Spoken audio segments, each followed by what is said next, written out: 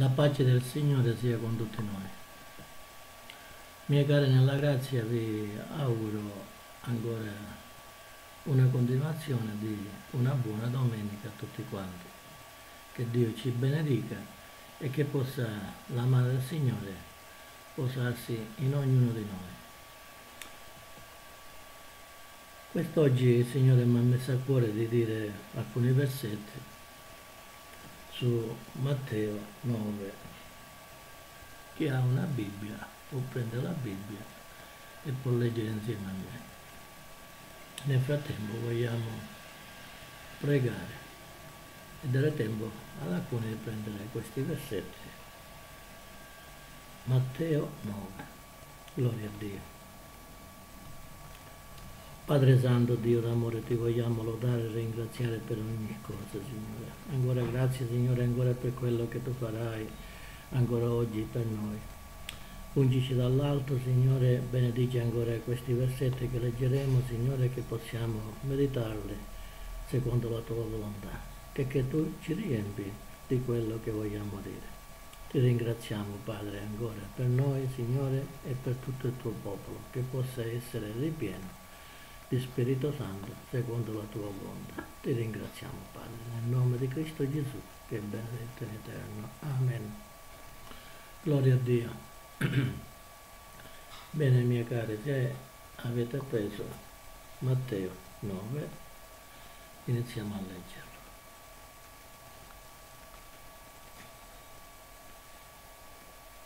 Gesù entrato in una barca passò dall'altra riva e venne nella sua città.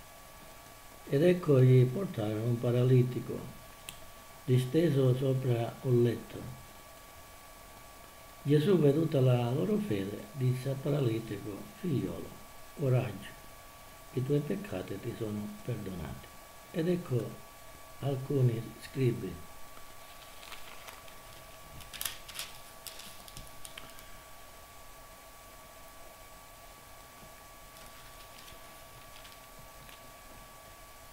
pensarono dentro di sé, costui bestemmia. Ma Gesù, conosciuti i loro pensieri, perché leggeva nei suoi pensieri, disse, perché pensate cose malvagie nei vostri cuori? Infatti, che cos'è più facile? Dire i tuoi peccati ti sono perdonati o dire alzati e cammina? Ma affinché sappiate che il figlio dell'uomo ha sulla terra autorità di perdonare i peccati. Alzati, disse al paralitico, prendi il tuo letto, il tuo letto e vattene a casa. Il paralitico si alzò e se ne andò a casa sua. Visto ciò, la folla fu presa da timore e glorificò Dio che aveva dato tale autorità ai uomini. Fin qui la parola del Signore. Miei cari nella grazia, come abbiamo potuto leggere questa bellissima parola del Signore in Matteo 9, abbiamo potuto appurare che Gesù si fece riconoscere dell'autorità che aveva ricevuto dal Padre e per questa gioia che il Signore oggi vuole condividere con tutti noi è che l'uomo, stando vicino a Dio, può anche prendere anche lui autorità. Se quest'uomo o chiunque sia sta nella grazia del Signore e fa le leggi di Dio e e fa ogni cosa secondo la volontà di Dio, prende autorità già dall'Altissimo che glielo dona, senz'altro. Perché sta scritto nella sua parola, chi segue me e segue il mio Padre ha potere in ogni cosa. Perché, come dice Gesù, se io ho fatto dei miracoli, voi ne farete dei maggiori. E questo lo troviamo scritto nella parola di Dio. Perché ne faremo maggiori? Perché noi siamo in tanti e ognuno se si mette nelle predisposizioni del Signore, ognuno fa il suo miracolo. Il miracolo siamo tanti.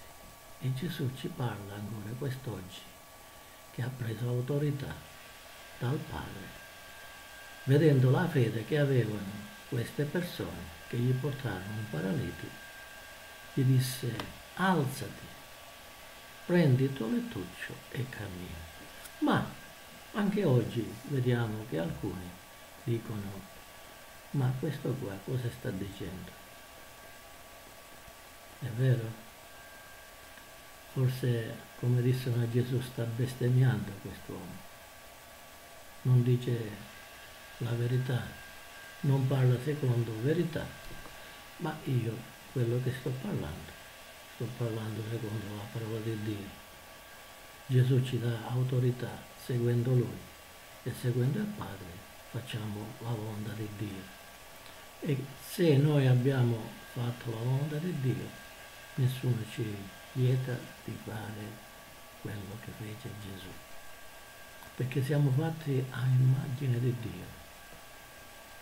E se l'uomo decade è perché ha peccato. Ma se si purifica dal peccato diventa beato, puro, punto dal Signore. Sapete, la legge di Dio è uguale per tutti se uno pecca diventa un peccatore ed è castigato da Dio. Ma se quel peccatore si ravvede, diventa puro. Nessuno lo può accusare. Nessuno può dire ma tu sei stato un peccatore, vai via. No. Il peccatore perdonato è ancora come te. Tu che ti senti puro e magari che ti senti puro e non hai quella beatitudine che ha lui perché tu ti senti arrogante, ti senti grande, ti senti potente, ti senti superiore a quello che ha peccato e si è ravveduto. Stai attento a quello che tu stai meditando.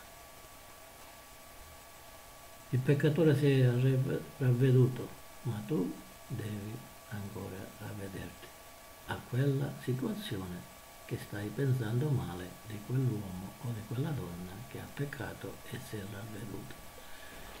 Qui ancora ci dice Gesù è entrato in una barca, passò all'altra riva e venne nella sua città ed ecco gli portarono un paralitico. Gesù stava andando al suo paese, nella sua città, conosciuto la fama di Gesù una grande folla, gli portarono un paralitico. È stata così forte quella fede, vedete, il miracolo già era iniziato dalla fede di quelle persone, sapendo che Gesù veniva, vedete?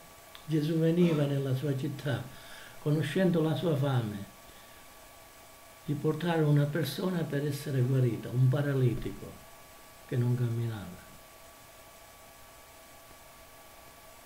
miei cari nella grazia, nel lettuccio, quelle persone gli portarono un infermo. Oggi tu a chi stai portando? A Dio e a Gesù.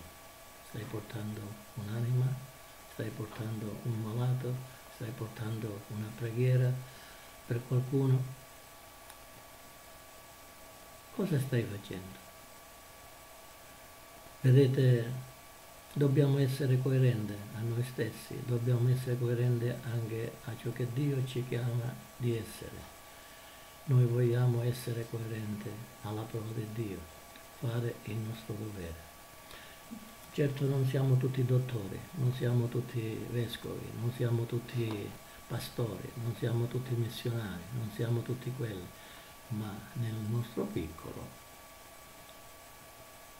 saremo come piccole pietre messe vicino alla pietra angolare, incatenata in quel muro, che edifichiamo la casa di Dio. Ora, non sentirti piccolo, non sentirti estraneo, non sentirti allontanato da tutti, non sentirti mediocre, ma sentiti un figliolo, una figliola di Dio che sta cercando di ravvedersi e entrare nella grazia di Dio in quella stradina piccolina, angustia bassa, che si deve abbassare per passare, ma oltre il passaggio di quella prova ti rialzerai e Dio ti vestirà di quella veste candida, pura, che appartiene ai figli di Dio. Ecco, vedete, questo è il grande passaggio della realtà cristiana. Ora Gesù, vedendo quella folla che gli portavano quel paralitico, guardando il paralitico coricato, infermo nel lettuccio, non poté altro di dire i tuoi, i tuoi peccati sono perdonati. Perché anticipatamente che il paralitico gli chiedeva la grazia, sono state quelle persone prese di quella fede che portarono quell'uomo dicendo maestro ecco qui ti portiamo quest'uomo che ha bisogno di te ha bisogno della tua salvezza ha bisogno della tua grazia maestro salva quest'uomo e Gesù vedendo la fede di quelle persone disse i tuoi peccati sono salvati sono perdonati ma sempre il nemico cerca di distogliere ogni cosa. Perché dissero quest'uomo bestemmia nelle loro menti. Ma Gesù, conoscendo i pensieri di quelle persone, gli disse, così è meglio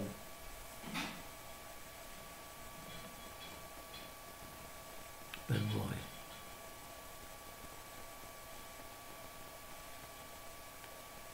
i tuoi peccati sono perdonati, o alzati, prendi il tuo lettuccio e cammina.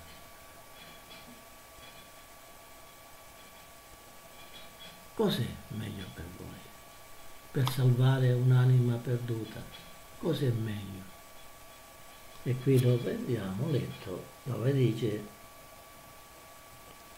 ed ecco gli portarono un paralitico disteso sopra un letto. Gesù, veduta la loro fede, disse al paralitico, figliolo, coraggio, i tuoi peccati ti sono perdonati.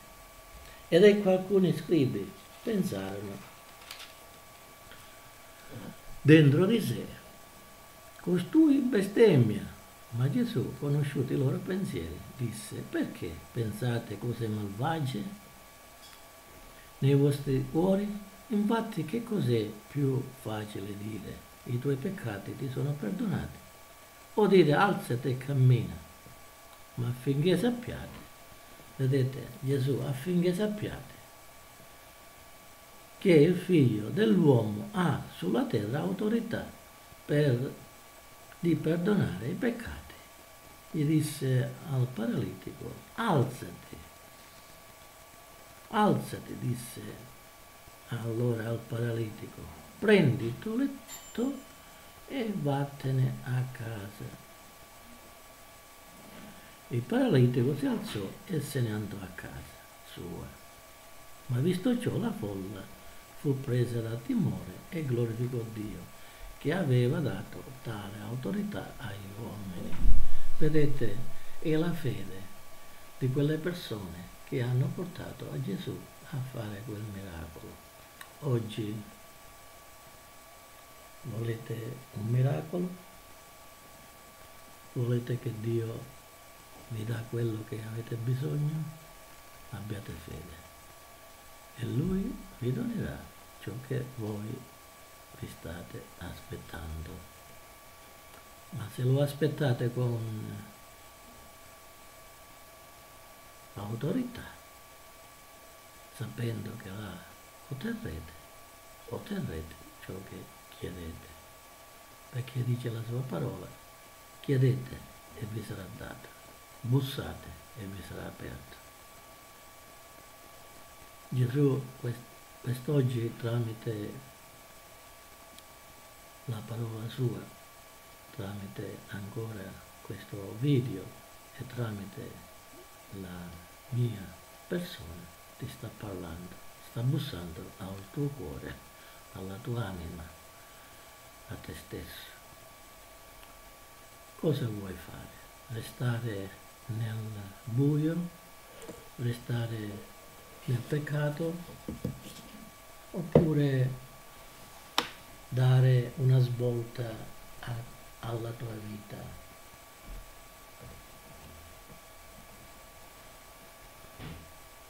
Vuoi dare una svolta alla tua vita?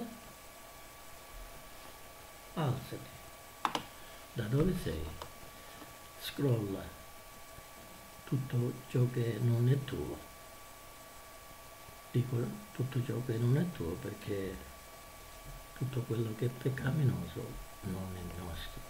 Lo abbiamo acquisito durante questa vita terrena, dandoci spazio al nemico di peccare scrolla tutto, lascia tutto ai piedi di Gesù, dicendo a Gesù di salvarti e di benedirti tutto il resto della tua vita.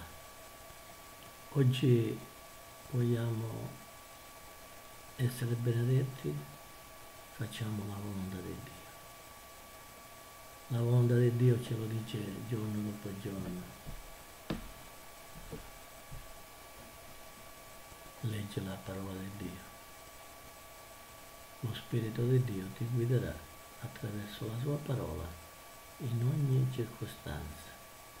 Non allarmarti se oggi ancora non ti ha risposto, perché i tempi di Dio non sono i tuoi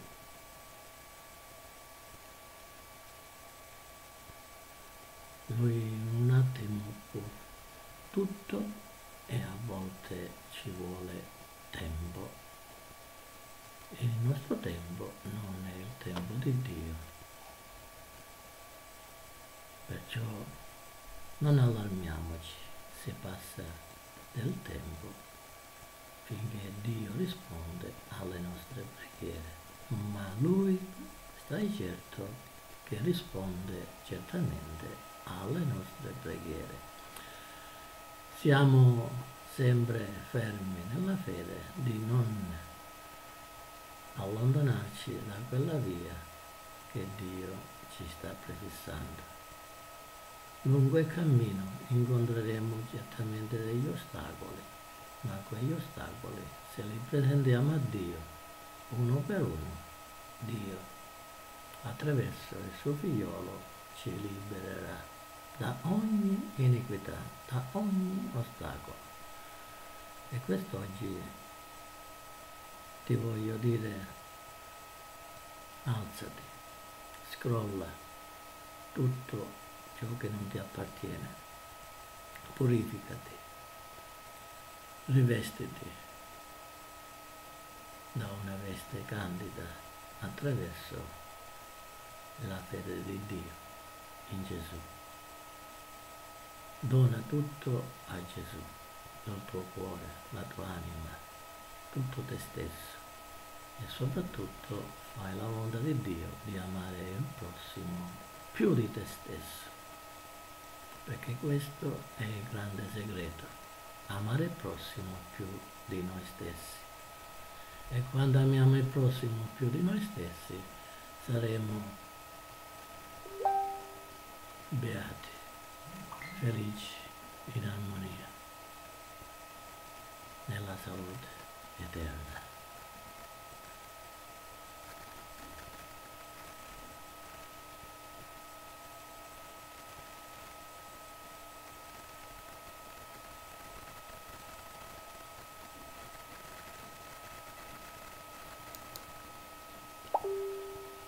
Mie care nella grazia, non finirò mai di cercare di aiutarvi perché il Signore ha avuto compassione per me e io ne ho per voi. Nel mio piccolo voglio veramente aiutarvi. Alcuni dicono ma perché lo fa questo? C'ha qualche interesse? No, non ho nessun interesse.